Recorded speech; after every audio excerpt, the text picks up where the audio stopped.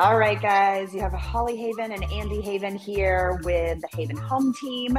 And there's a lot been going on with one bank collapse after another, right? We just keep hearing about it in the news for the last seven days or so. And as much as I wish I knew all the things about all the things, I don't.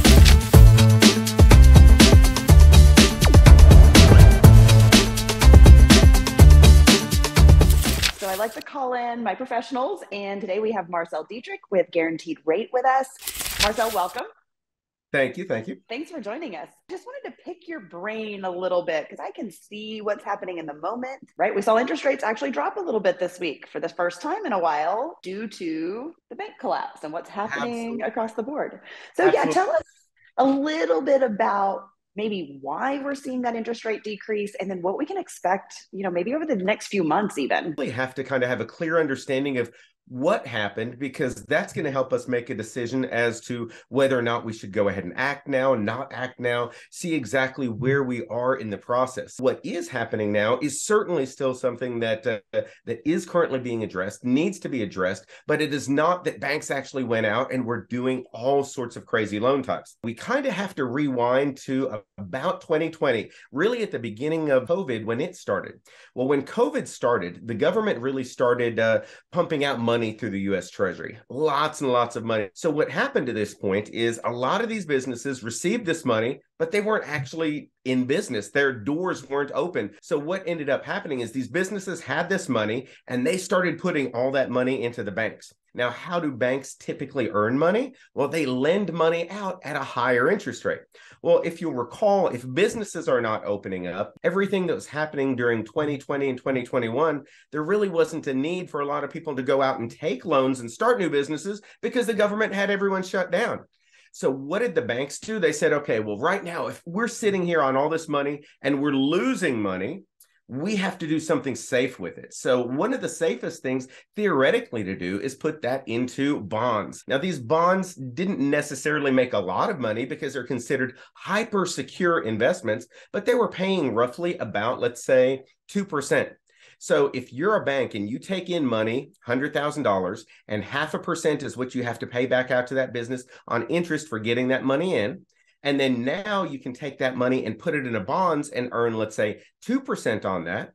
Well, in essence, you're making $1,500. So now fast forward as we basically get into 2020, 2021, 2022, and now 2023, all of a sudden, obviously everything has changed. The Fed has increased the Fed funds rate at the fastest rate than we've ever seen in history.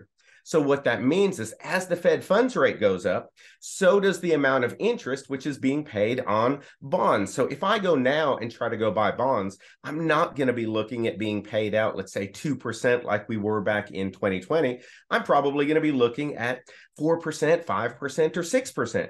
The other thing about bonds is when it comes to mark to market accounting, you do not actually have to change the value of those bonds as a banking institution on your books until you sell it. So all this money was basically tied up in these bonds. So what happened now in 2023, all of these businesses obviously have started back up and a lot of them are not being that profitable. So what ended up happening here in 2022 and 2023 is obviously the economy started going back up. Businesses were kind of going from being locked down completely to now going back into the business cycle. That means that they were taking their money out. And a lot of them, especially when you're talking about some of the IT firms that are out there, they were running at a negative. So now they're taking more and more money that they had deposited with banks out of the bank. Well, banks have to maintain a certain amount of liquidity. And depending on the banking institution, it's roughly about 10%. But now, when those businesses come along and they're actually wanting to take their money out, hopefully they have enough assets in the account Otherwise, what they have to do is they have to start liquidating. That means selling some of those bonds. When they do sell those bonds, all of a sudden that on paper loss becomes reality. And so all of a sudden liquidity really became an issue because all of these businesses are actually taking their money out of these banking institutions. Now, what the government did at that point is they basically said, okay, the FDIC limit is $250,000 per account that's in that banking institution. However, especially in the uh, Silicon Valley Bank, there were a lot of people who and businesses who had significantly more than $250,000 in there. So the government actually came in and did a backstop saying that we're willing to secure any of that and take all of those losses. Now, that obviously saved some of the businesses and some of the people that had money invested, but it actually caused a domino effect, which could potentially end up causing lots of problems in the future.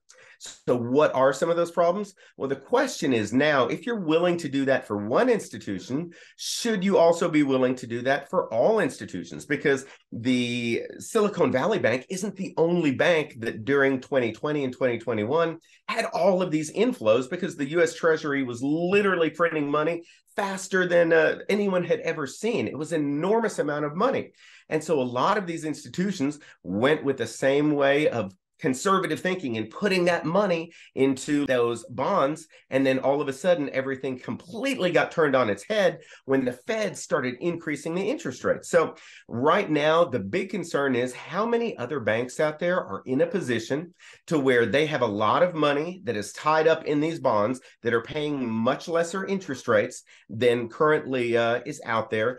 And also, what the government has done is they've actually came in and said, okay, well, if you're underwater on these bonds, you can actually go directly to the government and swap that out. Uh, in essence, they're saying that it's not going to cost uh, individuals or taxpayers any money, but at the end of the day, money doesn't just automatically appear. It always ends up getting passed on to uh, the consumers. So the question is now, what is going to happen this week? So this week, there's another Fed meeting, and we have two big problems that are currently going on. Number one is obviously the inflation issue. The way that the Fed curbs inflation is by increasing that Fed funds rate. But in turn, by doing that, now all of a sudden they're taking the interest rates on all of those bonds and other products and driving them higher, meaning that the banks that are holding all of those older bonds from 2020 and 2021 are even more upside down on that.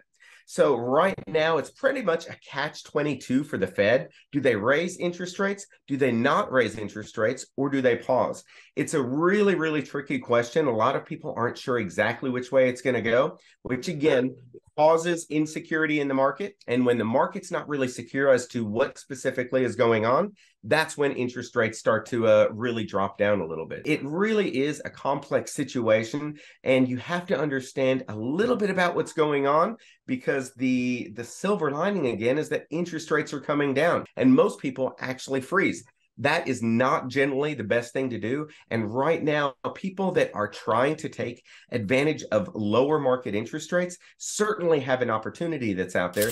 Okay, that's super interesting. Yeah, I was kind of wondering because we are in the middle of this uncertainty and stability and we're watching it drop, you know, I'm I'm just wondering, are we going to see that drop maybe continue over the next couple of months? Uh, so, right now, there's certainly a lot of volatility. One of the big dates that's often talked about is May 10th. And the reason for that is because when we're looking at inflationary numbers, basically that's a year over year number. So, when we go back to May 10th, 2022, and that number ends up dropping off, and now we're at a new 12 month window, basically through May of 2023, we're going to see a big drop in inflation because the inflation was really at a peak back in those 2022 numbers on May. Yeah, no, that's really interesting because you know what we're hearing and seeing from from clients or, or leads, people who are like, maybe I want to buy, but you know, I'm a little bit nervous right now. We're just seeing a lot of really interesting things in the market. We had some unrealized gains that were happening very quickly.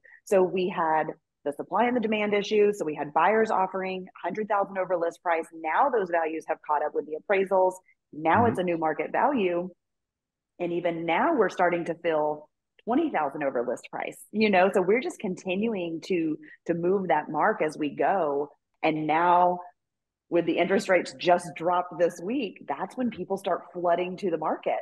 So I think we're even going to be more competitive than we've already felt the last few weeks. It is. And with the inventory levels, that's really one of the things that concerns me a little bit because you have so many people that did take advantage of buying during that 2020, 2020 uh, one year to where their interest rates on their homes right now are in their two or threes. And so they're not super motivated to actually mm-hmm. sell their house. You also have a lot of builders who've transitioned from single single family homes to now working more commercial projects. All of that shift, the inventory numbers, uh, they're definitely something to be aware of as a buyer because it, it may not be like you said to where everyone is scared out there you're just going to be able to offer $20000 below list and boom they're going to accept it. That that's not how it's going to work because of that supply and demand issue that's currently going on.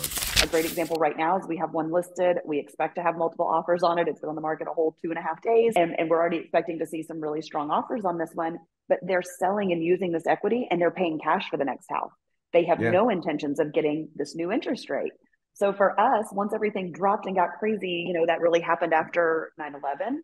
We felt mm-hmm. all those interest rates shift and they never really came fully back. We've kind of fluctuated between three and five. It really has. And the thing is, when you have a steady interest rate environment, that is good because people can make decisions in that if they know what things are going to be, if interest rates are stable. But when you have interest rates that are jumping up above seven and now they're down at five and now they're back up at seven, it certainly can yield uh, a little bit of uh, skepticism as to what's going on with the market. Yeah, and something else I feel like, you know, we we get a lot of the a lot of the questions or the thoughts or the theories, right, that buyers come up with. I don't know if they're seeing some crazy headline or if they've just decided on their own, you know, it's these house prices are going to drop. So if you're always waiting for that next best opportunity, you might miss the best opportunity that was sitting right in front of you because you were really hoping for something better. There's a lot of opportunity here for for buyers and sellers across the board, really. And I mean, if you're in the right place to or need to make that move or kind of have to make a decision, but if you're if you're young and you want to,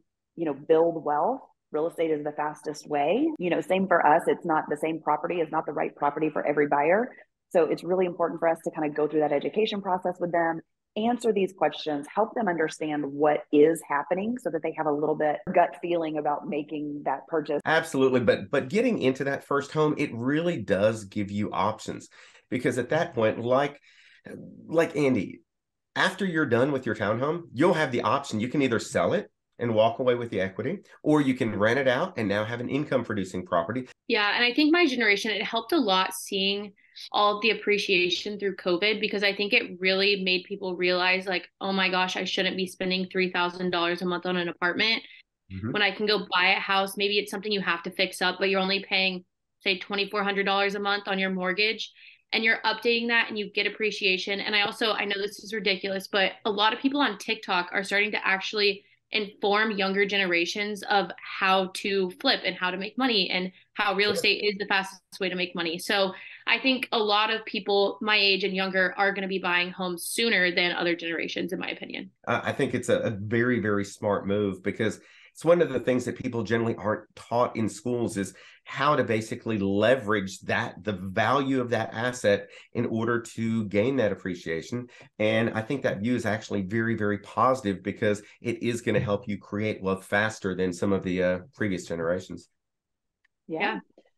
Well, Marcel, thank you so much for your time today. I super appreciate you jumping on here and explaining some of the things to us. Like I said, I know what I know and I know what I don't know. So I like to bring in professionals on the stuff I don't know. So we appreciate your time and your help. And um, yeah, if anybody is watching this video and you just have questions about what does it look like to get approved, it's not scary, guys. It might be a little uncomfortable for a second, but reach out to Marcel. Him and his, he and his team can definitely help you out um, and get you some answers so that you feel educated about the process and not just out here wondering, you know, what to expect.